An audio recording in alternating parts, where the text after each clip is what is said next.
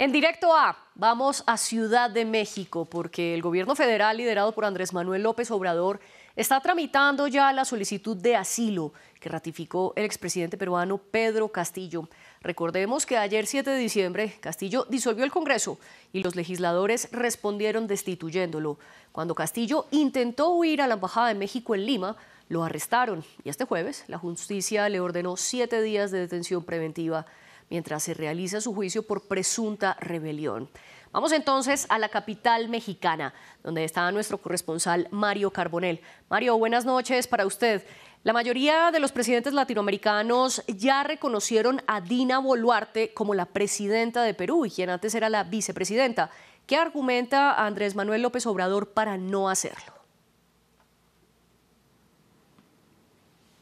Hola, eh, pues de hecho le han preguntado al presidente por qué si la mayoría de los presidentes eh, latinoamericanos de izquierda han dado su reconocimiento, México no lo ha hecho.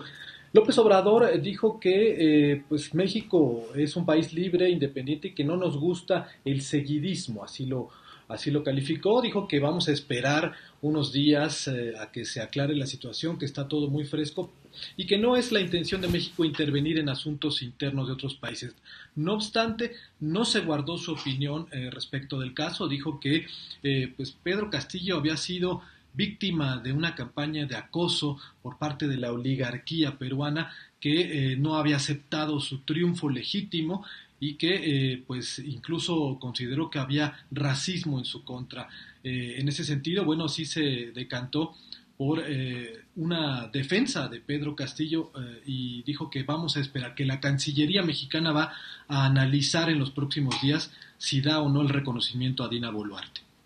Y precisamente sobre López Obrador fue el propio presidente mexicano quien primero reveló que Castillo había pedido asilo a México y también agregó que se lo iban a dar. Por eso el embajador mexicano fue a visitar a Castillo a la cárcel. ¿Qué se sabe y cuál es la posición del gobierno mexicano?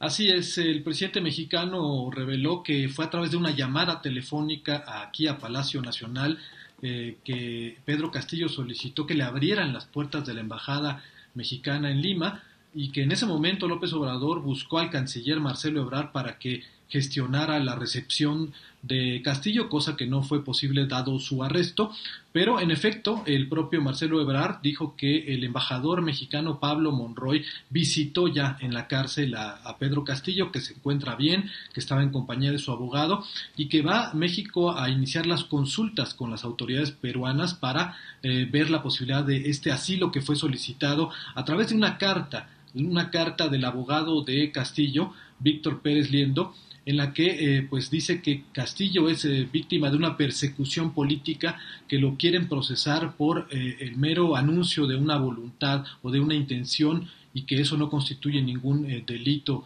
de orden penal. De modo que pues están ya el procedimiento de entrada